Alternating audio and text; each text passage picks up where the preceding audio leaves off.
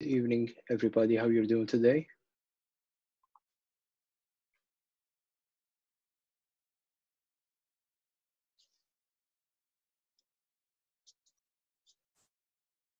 All right, great, great. So everybody can hear me? I'm doing well. Thank you for asking.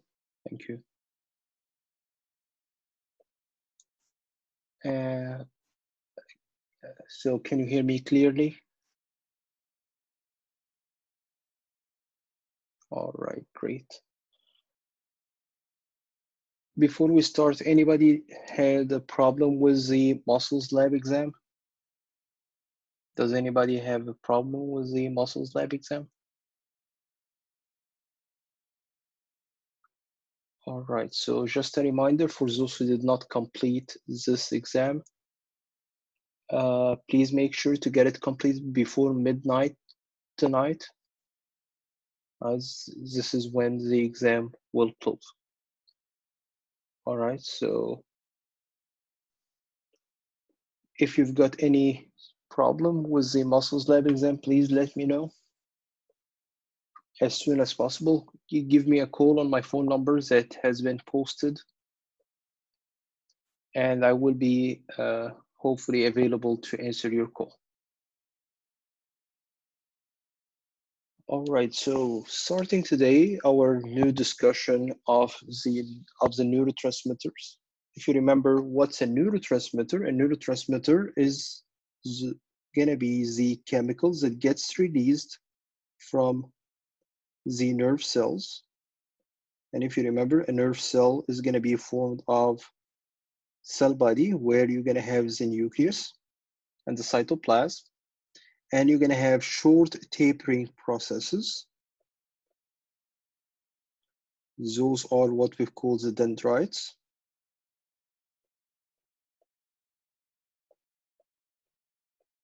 And remember, a long process that will be getting its origin from the cell body of the neuron is going to be the axon. And remember, the junction between the axon and the nerve cell is what we call the axon hillock.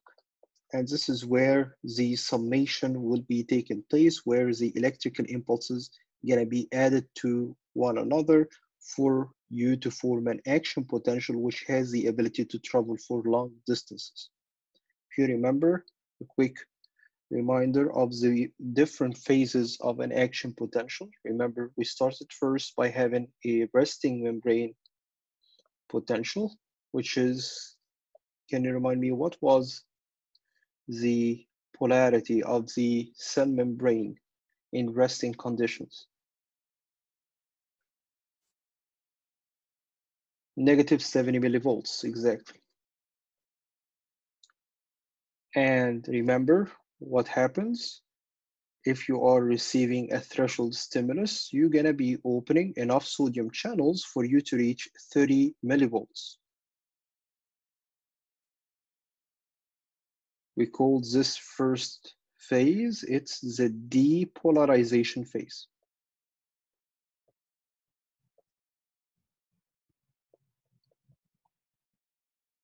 And do you remember what ion was it responsible for the depolarization?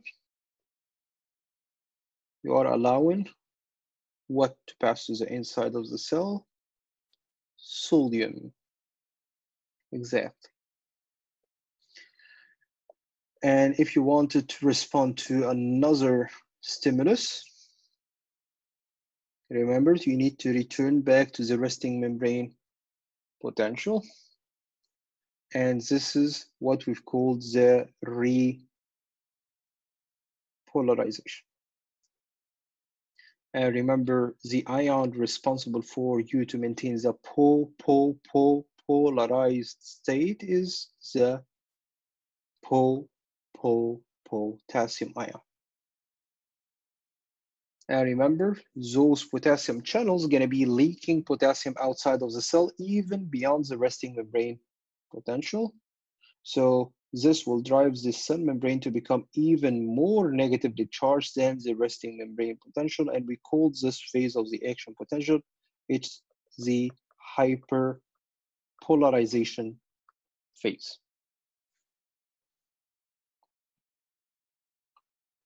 Remember how this electrical impulse that was traveling here, the action potential along the length of the axon will be conducted to another cell, either another nerve cell or an effector organ cell. So if I want to conduct the signal to a muscle cell, for example, or to another nerve cell, or to whatever, a glandular cell, or whatever, how would I be able to conduct this electrical signal? Will the electrical impulse pass? Would I be conducting electricity directly from one cell, the presynaptic neuron, to the postsynaptic neuron directly? Will it be conducted as an electrical signal directly from one cell to the next cell? No, it's going to be conducted as a chemical signal that will be released from those terminal nodes or terminal boutons in the telodendria of the axon. Remember, those telodendria did have those bulging ends. This is where you're going to be storing the neurotransmitters inside vesicles. And once you get the electrical signal,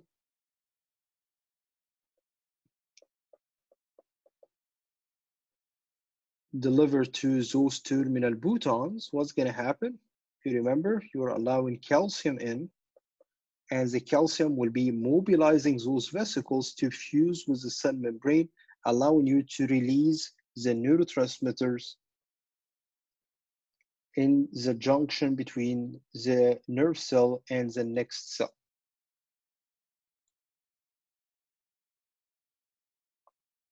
We've seen one famous neurotransmitter, if you remember last class, and multiple times actually, back in the muscular system. This was my acetylcholine.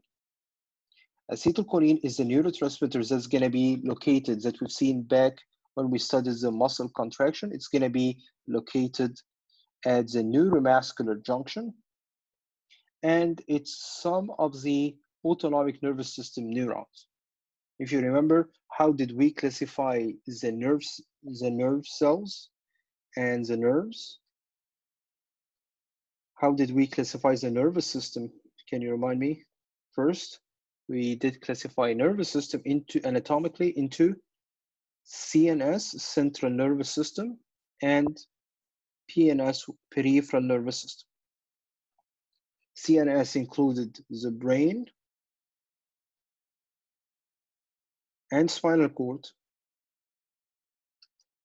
The PNS, the peripheral nervous system, it's formed by the nerves that would be going in and out, and we've seen some are coming from the brain. Those are called cranial nerves and some are gonna be conducting their signals to the spinal cord. So we call those ones are my spinal nerves.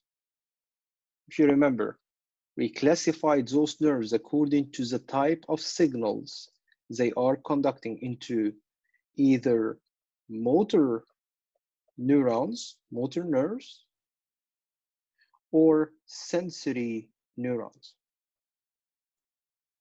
if I'm conducting a sensory impulse, I'm a sensory neuron. If I'm conducting a motor impulse to go into an effector organ, I am a motor neuron.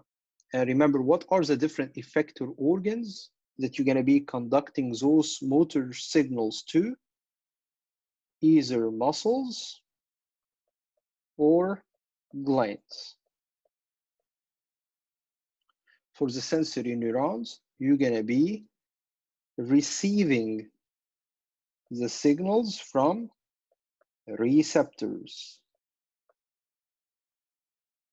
So the nerves that are going to be conducting sensations from the receptors, those are my sensory neur neurons, sensory nervous system.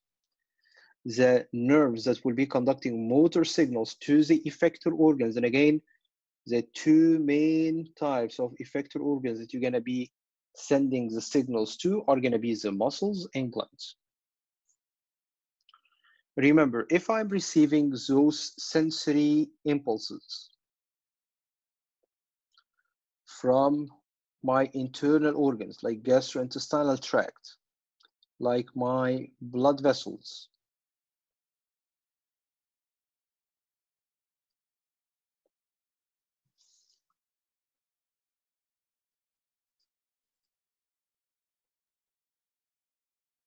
Those are internal organs sending out signals to your nervous central nervous system for the central nervous system to process them.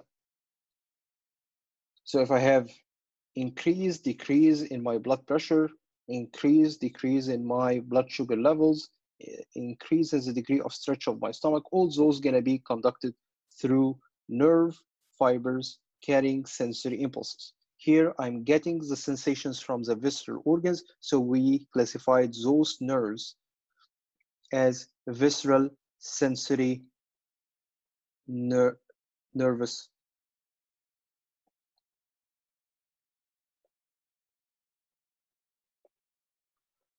nervous system. What if you're receiving the signals from skin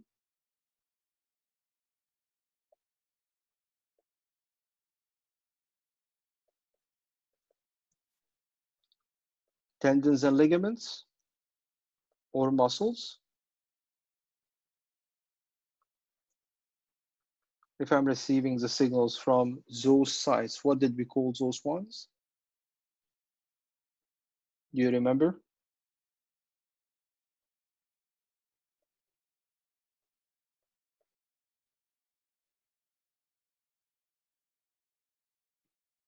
Somatic, exactly because this is my somatic sensory nervous system.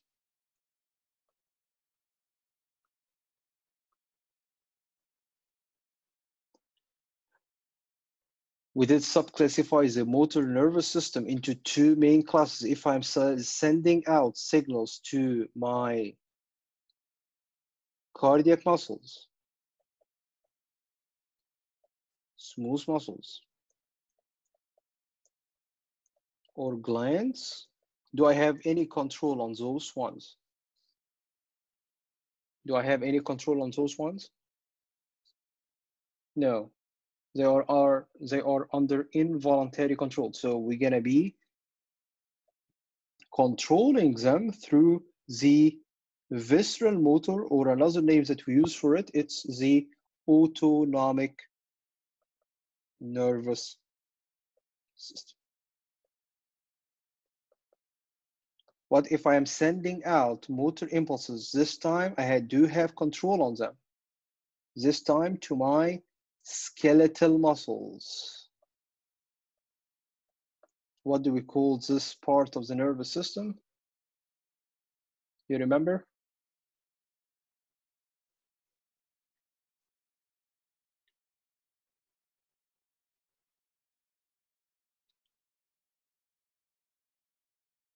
If the ones that you don't have any control on is called autonomic or visceral motor, what do you think I will call the ones that I have control on? Sending the signals, voluntary, voluntary, yes, it's, it is voluntary, it is a description, yes. It's voluntary, but we call this part of the nervous system, it's somatic, again, motor. Like the somatic here, sensory. All right. So the name of the nervous system is somatic motor nervous system. But it's under voluntary control. Yes, definitely. All right, this is a quick reminder here of the classification that is the milestone here of those chapters. So remember, where do we have acetylcholine released from nerve cells at the neuromuscular junctions? Where the nerve cells going to be conducting the signals to the skeletal muscle cells. You're going to be releasing acetylcholine. Also in some parts of the autonomic nervous system.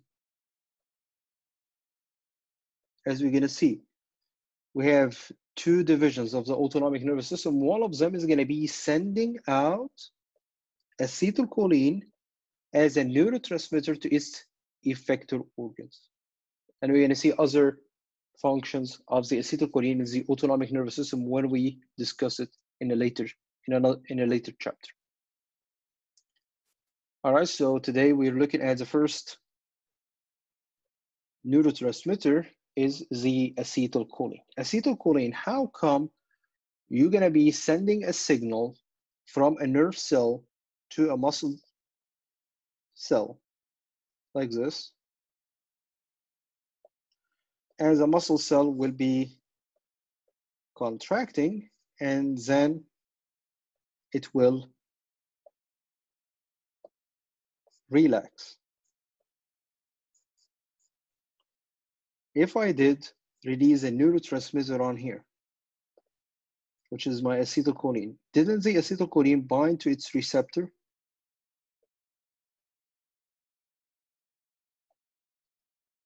As the acetylcholine binds to the receptors, this means it's gonna open sodium channels and the sodium, when it enters the cell, it creates an electrical impulse another electrical impulse, another electrical impulse. Why is the muscle will not be kept contracted by having those multiple electrical impulses that will be formed?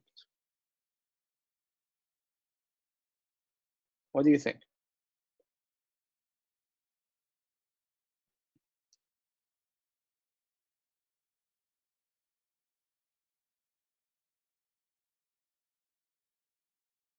Is there a way I can relax this muscle if the acetylcholine is kept attached to its receptor like this? No. So what should I do? I will need to break it down. So present in the synapse, in the synapse between the nerve cell and the muscle cell I have an enzyme that breaks down the acetylcholine. We call this is my acetylcholine esterase. Its main function is to break down the acetylcholine. Why do I need to break down the acetylcholine? For me to limit its activity. So I send one signal to the muscle. I want to have one contraction. That's it. I don't want to send one signal and the acetylcholine, if it kept binded to its receptor, the muscle will keep will, will be kept contracted. If I would like the muscle to be to be kept contracted, I need to send multiple signals from the brain to reach my muscle. So I would be releasing, deteriorating the acetylcholine, releasing, and then deteriorates the acetylcholine and then release and then deteriorates the acetylcholine and so on. For me to regenerate those electrical impulses another time in the muscle cell. I don't want to have a continuous effect of the acetylcholine. I want the signal to be conducted from the nerve cell to the muscle cell. Once conducted, I have no need for the acetylcholine to be kept attached to its receptor. So again, again, what is the name of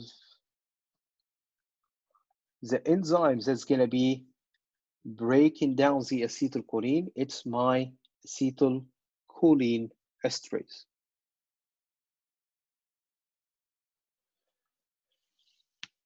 We have chemical, uh, we have other neurotransmitters that will be classified according to their chemical class. We have got the biogenic amines. And the biogenic amines are like the catecholamines and indolamines. Catecholamines include the dopamine, norepinephrine, and epinephrine. Indolamines, those are like the serotonin and histamine. Serotonin and histamine, those are widely known for relaxation. So why do you think chocolate, for example, is going to be enhancing your moods?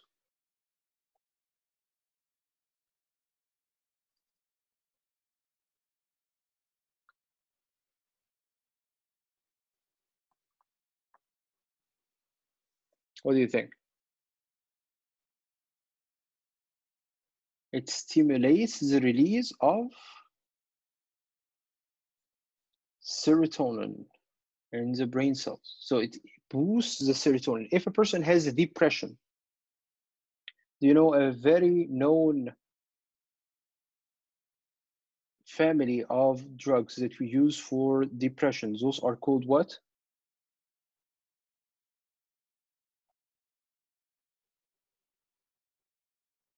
Any idea?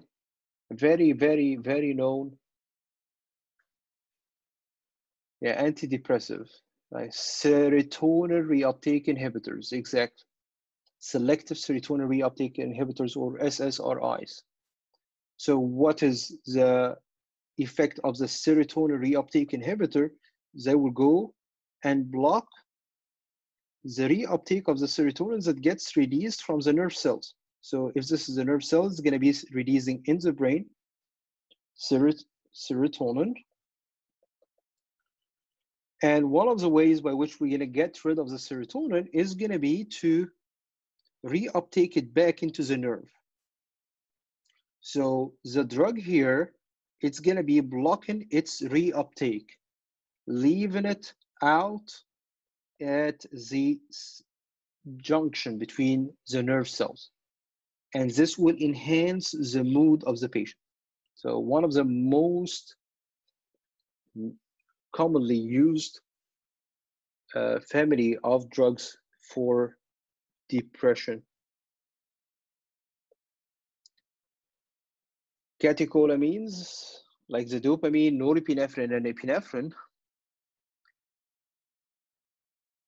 as well as the indoleamines, serotonin, and histamine. Those are broadly distributed in the brain. And they would be playing roles in emotional behaviors and the biological clock.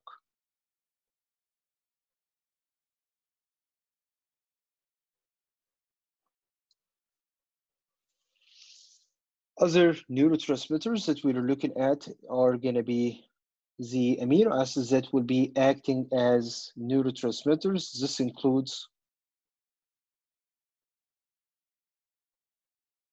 GABA, which is a gamma alpha aminobutyric acid, gamma aminobutyric acid, glycine, aspartate, and glutamate. Those are amino acids that we found that we found that we find out that they are acting as neurotransmitters. They get released from the nerve cells to act on specific receptors on the target cell.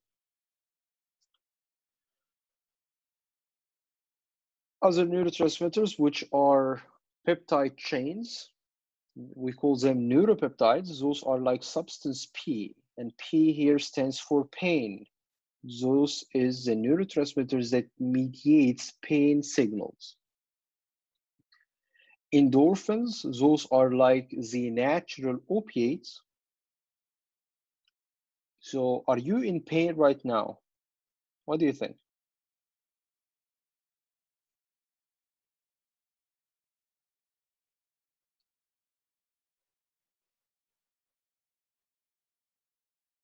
No, no, no. We've got five no's out of 18, so this means 13 of you are in pain.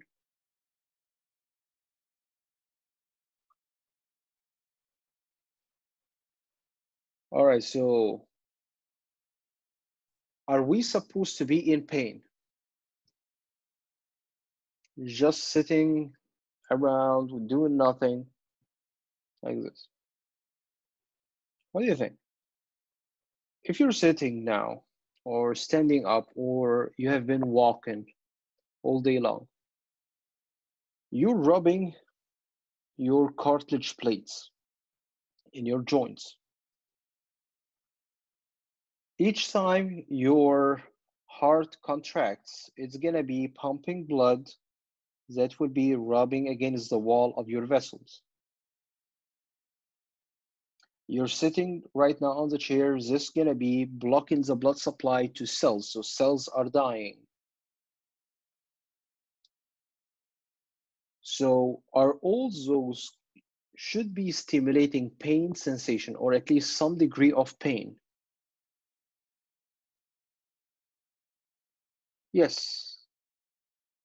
We are actually now, even if we don't have any medical problem, we are in pain. But why we don't have the perception of the pain on here because of an inhibitory neurotransmitters that we have normally released from the brain that acts as opiates. We call those are the endorphins. And this explains why if a person was abusing drugs. And he decided to stop all of the sudden. So he has he had dependence on opiates.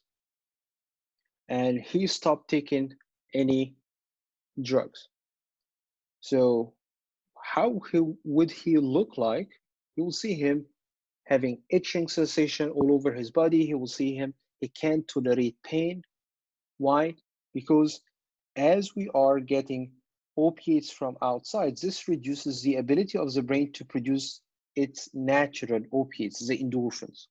So the pain perception is going to be increased until the brain starts to reproduce those endorphins. All right. Is this clear? Clear? Does this make sense?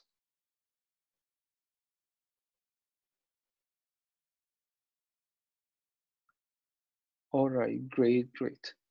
All right, we have another set of uh, neurotransmitters. Those are what we call the gut-brain peptides.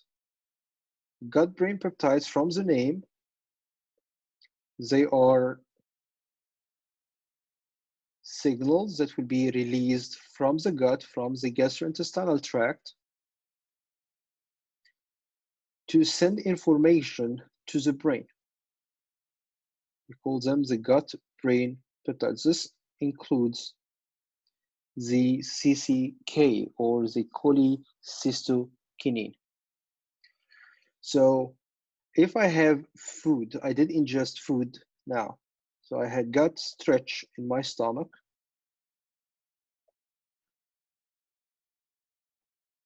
And this food is about to get into my small, small intestine. This is where I should be releasing the bile from the gallbladder into the small intestines. This is where the bile released from the gallbladder here will be meeting the food to enhance the digestion of the fats. So who will tell the gallbladder that you need to contract now? Are you contracting the gallbladder all day long, all day long? No, you're gonna only contract it whenever you get food into your small intestine. For this bile to meet with the ingested food to help with the digestion. So how your gallbladder will know that you've got food now? So your stomach will do what? Your stomach will be as, a, as, as it detects an increase in the degree of stretch. So it recognizes that you are ingesting food. This effect of the stretch will enhance the stomach cells to send out signals to the brain, and then the brain is going to be responding by sending down motor impulses to your gallbladder for you to contract the gallbladder and release the bile to meet with the ingested food in your small, small intestine. All right, what do we call here this chemical signal that gets released from the gastrointestinal tract. We call this is to induce the contraction of the gallbladder, cholecystokinin. Kinetic, kinetic or kinin is means what? You know, yeah, move, to move. And cysto is a bladder and chole is bile. So this is a protein that will be moving kinin, the gall bladder, cholecysto. It induces a contraction of the gallbladder to squeeze the bile into the small intestine. Novel messengers that we figured out recently more recent than the previous ones, more recently, that they act as neurotransmitters. This includes ATP, the adenosine triphosphate, nitric oxide, and carbon monoxide.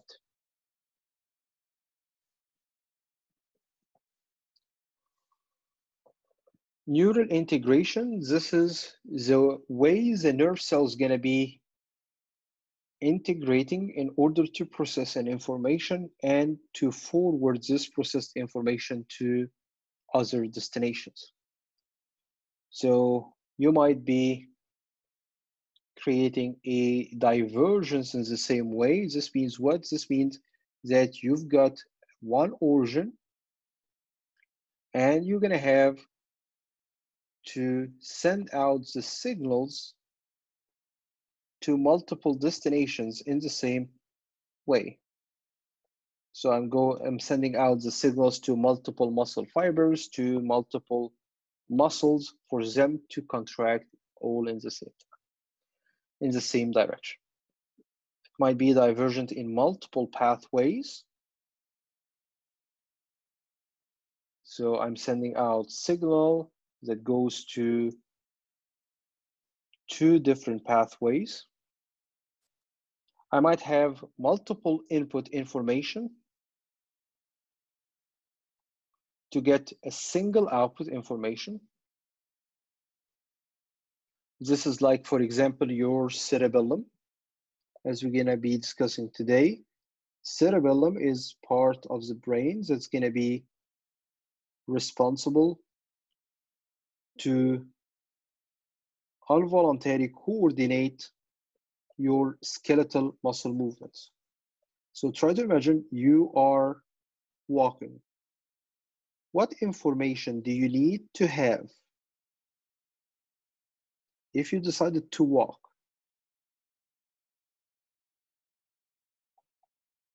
What information do you need to have in order for you to be able to coordinate the muscle movement? This is my cerebellum on here.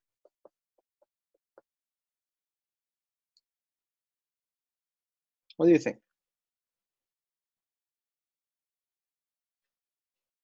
Yeah, how do I allow this coordination to take place? What kind of information should I be collecting from the different body parts for me to allow a successful coordinated movement? What do you think? Would you like to know where is your head? Or not?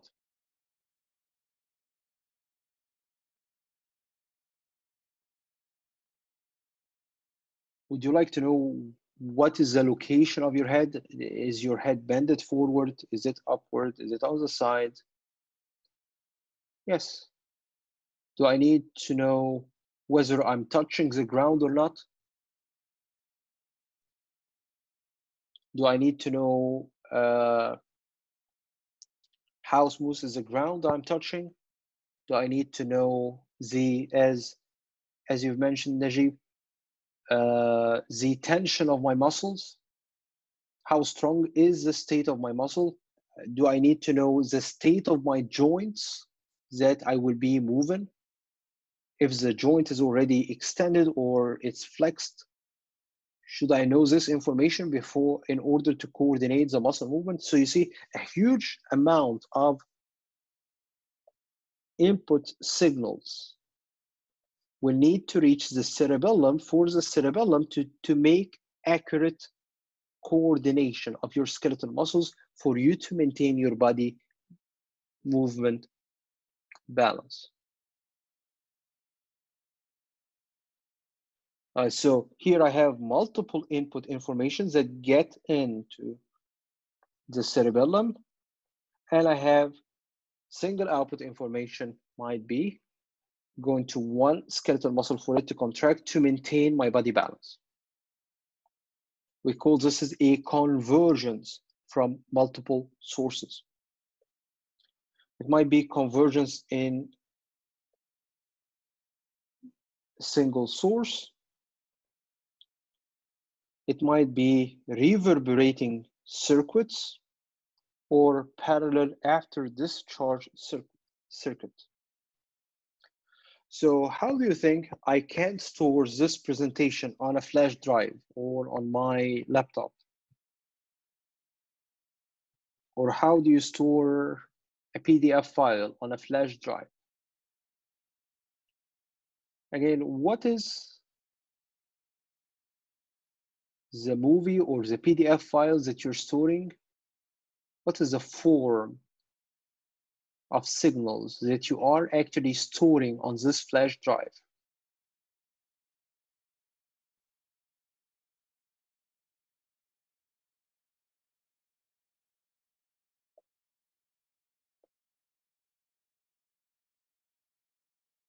A code of zeros and ones, right? Electrical signals and no electrical signal, no electrical signal, no electrical signal, electrical signal, electrical signal. So the binary code on here, this is what you're storing. Codes of having electricity, not having electricity. So yes, definitely you're storing electricity. In the form of code. So what is the electrical current?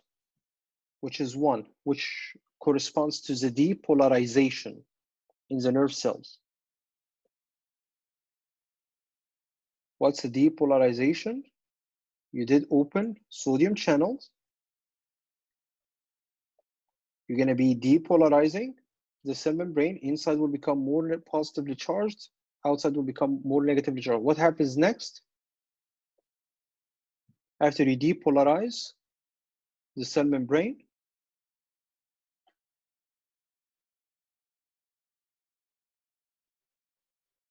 after you depolarize the cell membrane, what's going to happen next?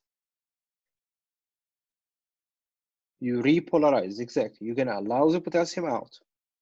So the inside will return back to its negative state, and the outside will return back to its positively charged, charged state. All right, so will this code be kept in the cell that I've got a depolarization? Or is it traveling along the length of the nerve cell?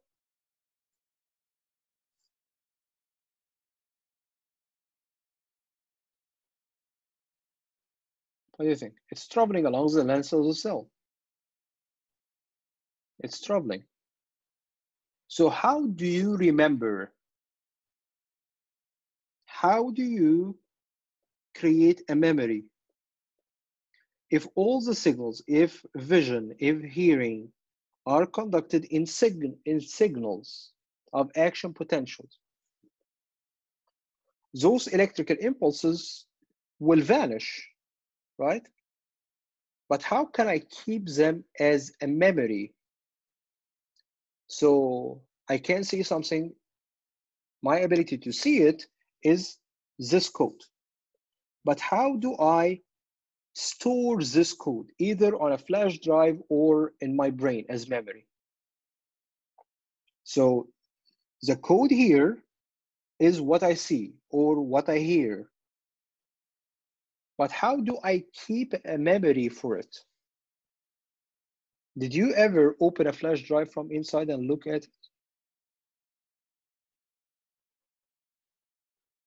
What do you see inside?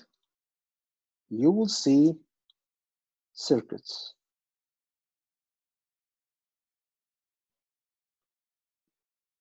So the signals that I'm conducting here will initiate, will reinitiate the same signal again and again and again for me to create this memory, to keep it, to store it. So what happens if I have degeneration of my brain cells? I will start to lose memories.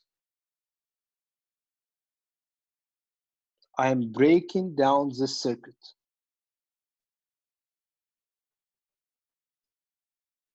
All right. Is this clear? Clear?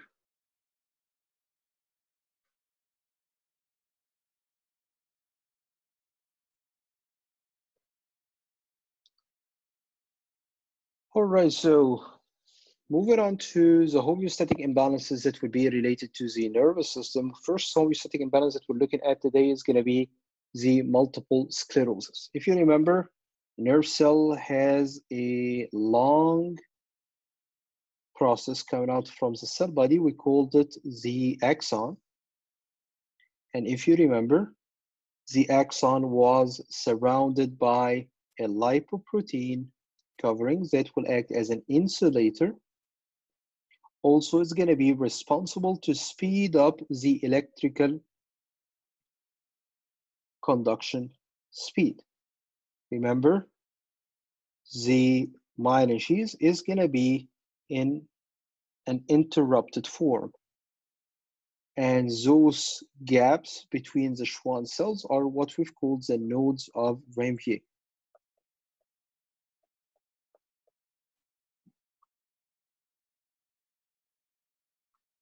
in multiple sclerosis, which is an autoimmune disease, what I mean by an autoimmune disease, my body started to recognize my own tissues as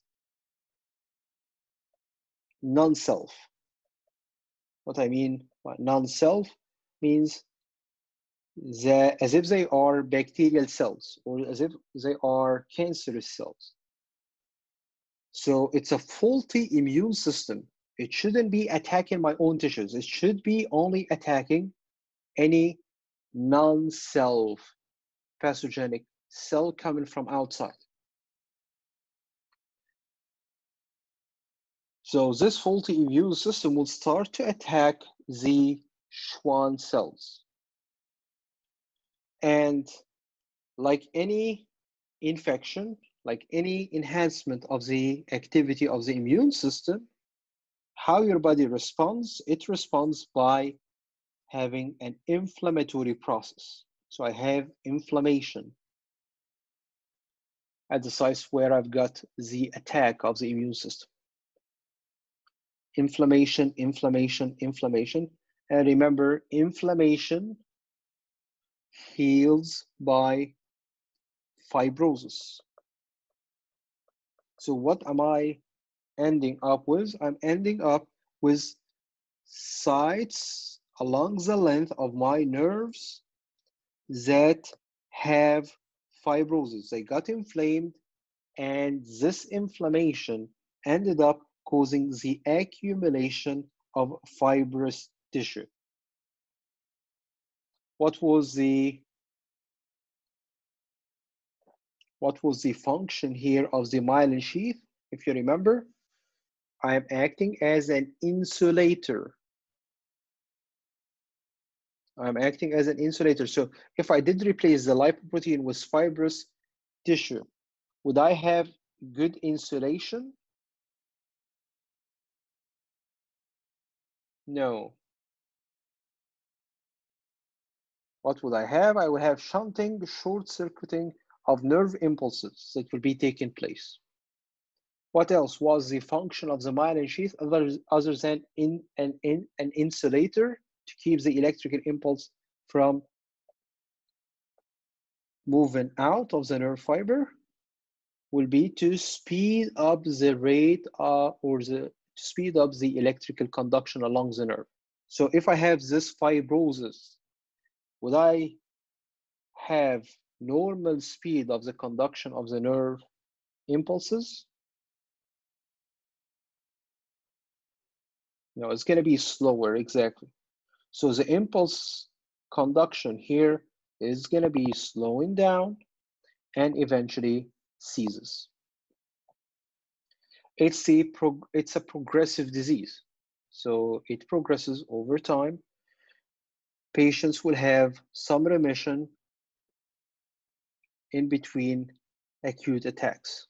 But each time they don't get back to normal. So if I didn't have any symptoms like this, acute attack is going to be followed by partial remission. I still have some symptoms. So my baseline did move up. On another acute attack, I have another partial remission. So now I have those symptoms.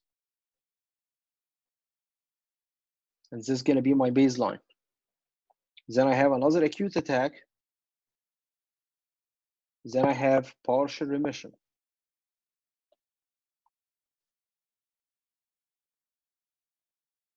So now those are my symptoms I will be presenting. So what happened over time, it gets worse over time.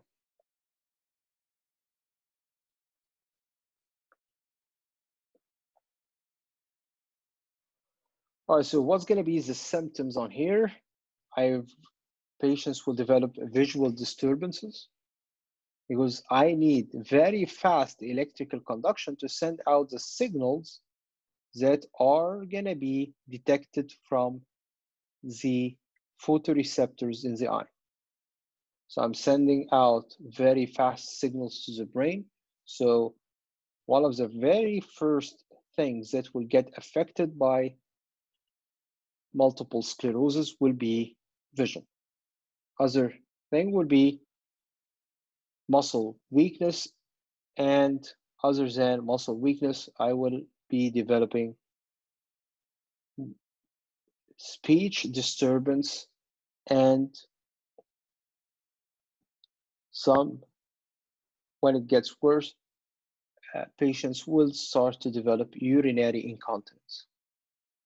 Remember, two of the most complicated tasks that we're going to be performing using skeletal muscles. If you remember from last class when we discussed some of the muscular problems, those are speech and swallowing. They need a large number of skeletal muscles to coordinate together in order for you to either speak or to swallow.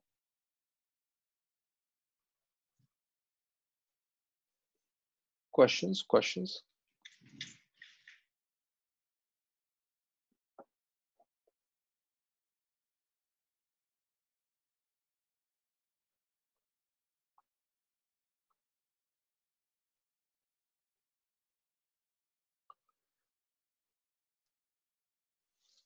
All right, so today we are starting our discussion of the central nervous system, the CNS. If you remember, CNS is going to be formed by the brain and the spinal cord. The brain is going to have four main regions. First one is going to be the cerebral hemispheres.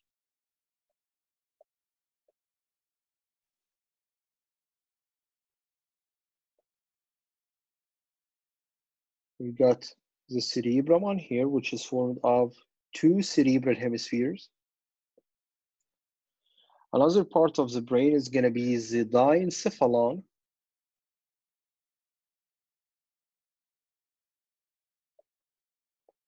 And the diencephalon, as you're going to see, is going to be formed by an oval-shaped structure here. This is called the hypo, the, the thalamus.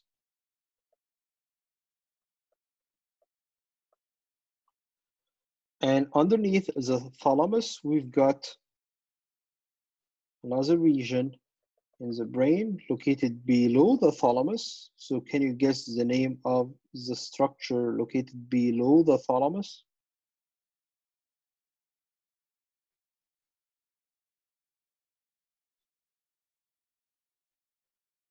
Below the thalamus, hypothalamus exactly.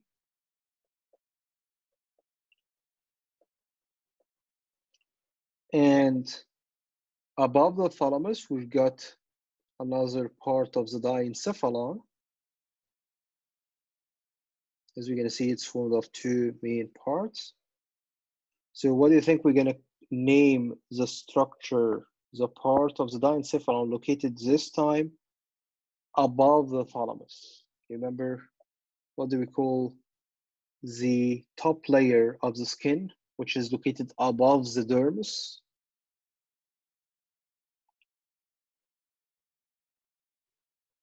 epidermis. So what do you think we're going to name the part of the brain located above the thalamus? Epithalamus.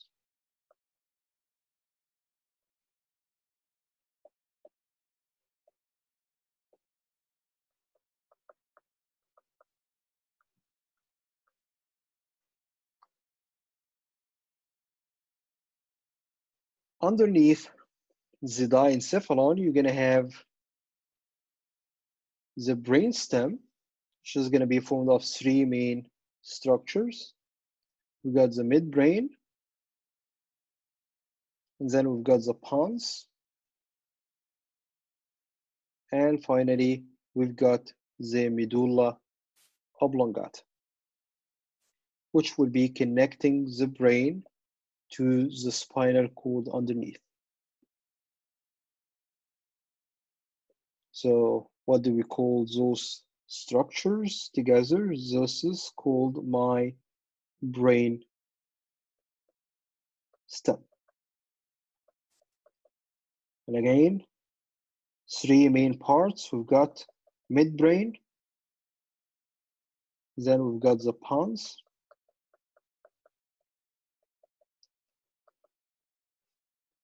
and third part on here the straight part that connects the brain travels through the foramen magnum down to connect the brain to the spinal cord. This is my medulla oblongata.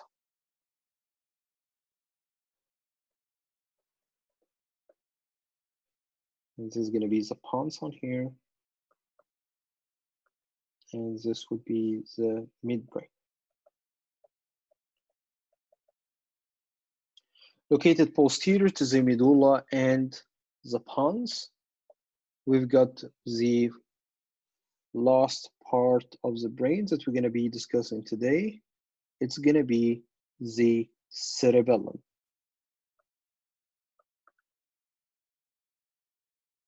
So the largest portion of the brain should be here. This is my cerebrum. So let me increase its relative size on here for the diagram to make more sense.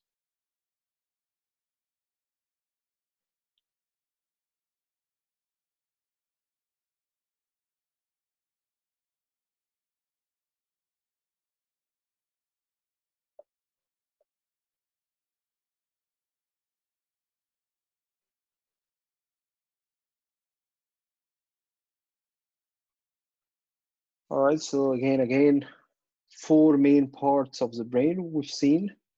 We've got the cerebrum, which is going to be formed of two cerebral hemispheres. We've got the brainstem,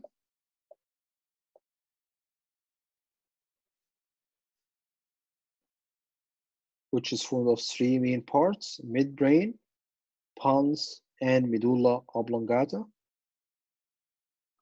We've got the region located between the cerebrum and the brainstem. This would be the diencephalon. And we've seen the diencephalon has three main regions. We've got the thalamus, we've got the hypothalamus, and we've got the epi, epithalamus. Last part that you've seen here, forming the brain, is going to be the cerebellum.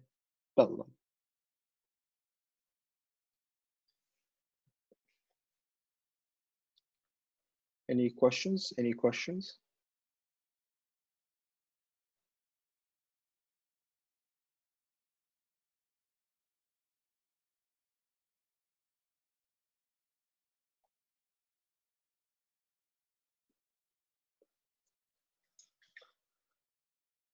All right, so moving down to the spinal cord.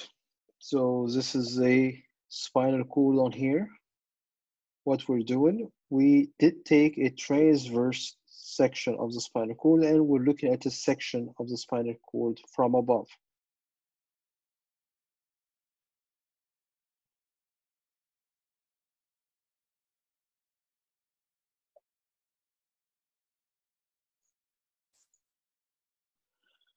We will see that the spinal cord has an H-shaped gray matter at the center.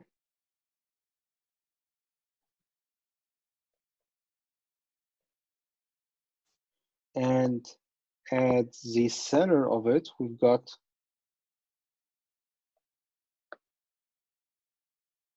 a canal. We call this as the central cavity or central canal of the spinal cord.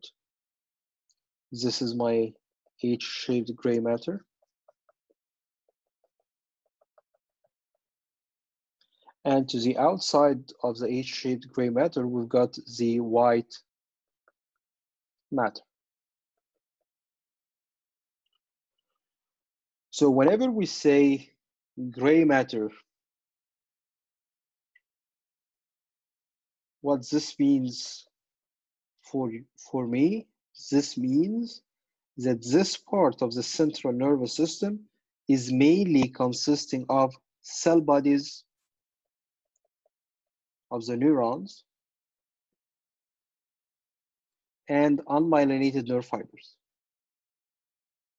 If we're saying white matter, This means for, for us that this part of the central nervous system, this part of the brain or the spinal cord, it's gonna be consisting of large nerve fibers, large axons, which are heavily myelinated. I am formed of myelinated nerve fibers. So again, again, whenever we say gray matter, this equals cell bodies and unmyelinated nerve fibers.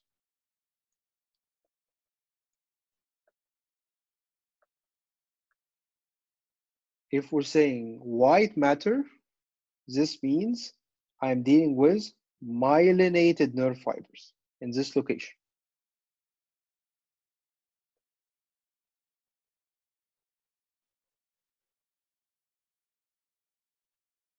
So this tells you what? What can you understand from this? So this gray matter inside is consisting of, again, what and what?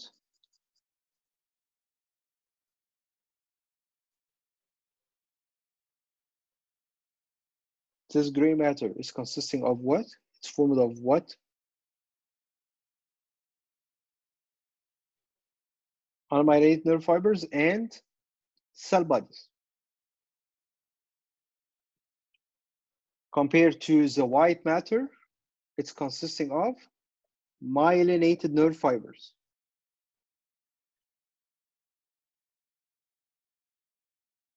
So this tells me that the spinal cord gonna be conducting signals up and down in long tracts passing through the white matter or the gray matter? What do you think? So if I did receive a signal from a receptor, I did touch a hot surface, for example. So this was the receptor in my skin. I did touch a hot surface. So the receptor will be sending the signal. This is my nerve cell like this. It will be sending the signal to whom? To the gray matter or the white matter? To the gray matter. Well, why? Because this is where I have the cell bodies that can process the signal. But when the when the spinal cord is going to be conducting the signal to travel up to the brain, where will will it be conducting this signal to travel for long distances where you're going to have myelinated nerve fibers to go up to the brain. Does this make sense?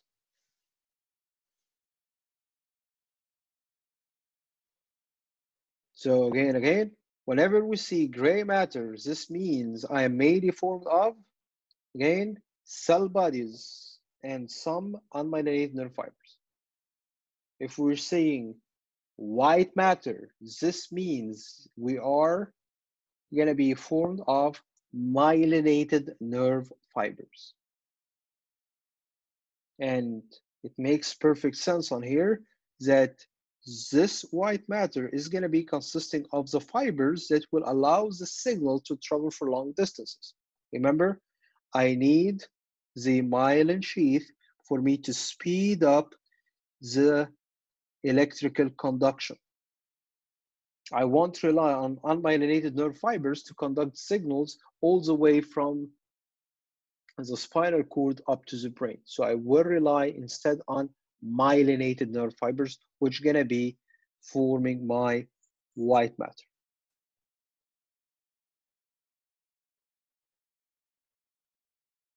Questions, questions?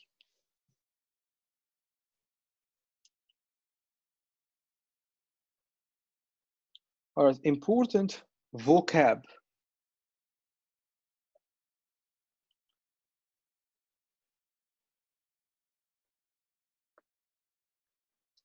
If I am dealing with a collection of nerve fibers, what I mean by nerve fibers again, axons.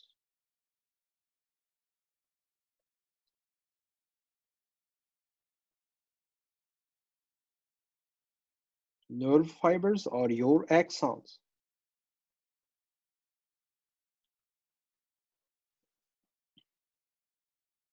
If you're dealing with nerve fibers, collection of nerve fibers or axons outside of the CNS.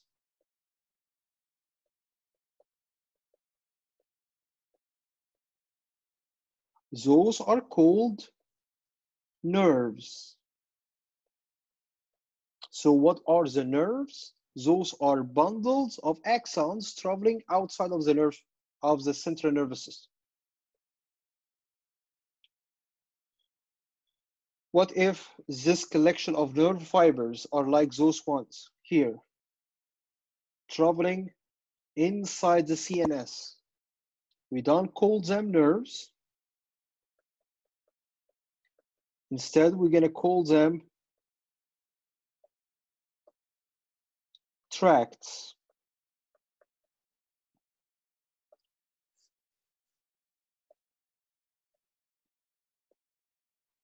So again, again, if I have a bundle of nerve fibers, of axons, traveling outside, traveling outside of the CNS, we call them nerves. If I have a bundle of axons, nerve fibers, traveling inside the CNS, we call them tracts.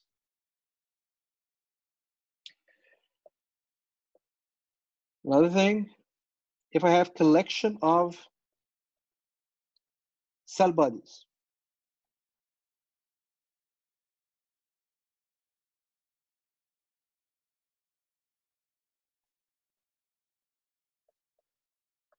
if you have collections of cell bodies,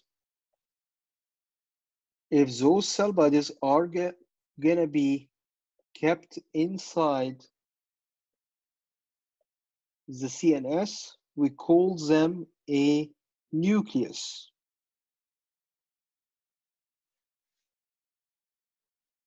So we're gonna see, for example, the respiratory group formed of nuclei. Those are collections of cell bodies in the CNS, embedded in the brain, forming parts of the brain, forming parts of your uh, spinal cord. We don't call it, we can just call it the gray matter. Right. If those clusters of cell bodies are going to be located inside the CNS, inside the brain, we're going to call them nuclei nucleus. What if I have collections of cell bodies outside of the CNS? We call them a ganglion, a ganglia. Ganglia, those are collections of cell bodies where outside of the CNS. So for example, if this is my brain, this is my spinal cord, and I told you that in the pons or the medulla oblongata, I have cell bodies that are regulating the respiratory rate, let's say. So is this a nucleus or a ganglion?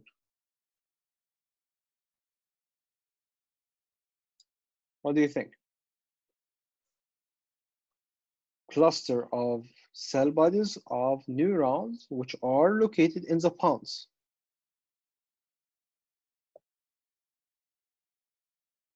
Would you call this a ganglion or a nucleus?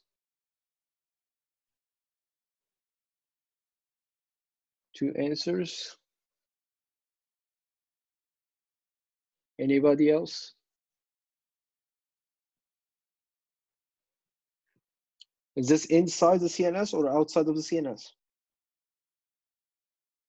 So I have a cluster of cell bodies, like this one, inside the pons.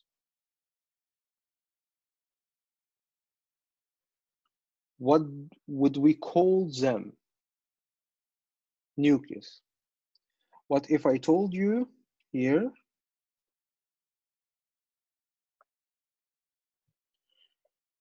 that when I receive a signal, is going to be conducted by a nerve neur, neuron that looks like this. And you're going to have thousands of them. So you have collection of cell bodies located where? Outside of the CNS. So what we're going to call those cell bodies located outside of the CNS. Ganglion.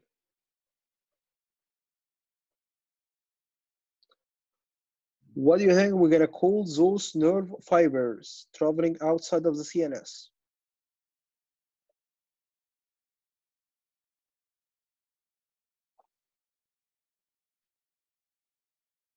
What do we call those nerve fibers traveling outside of the CNS? nerves. Nerves. If I told you that the signals on here gonna be conducted up through long fibers what would we call the collection of those nerve fibers traveling through the spinal cord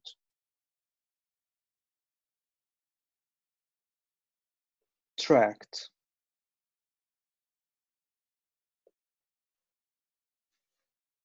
Easy, easy.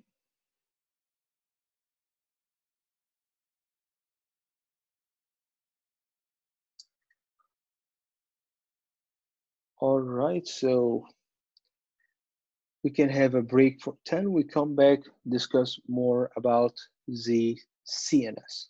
All right, so any questions? Any questions before we go to the break?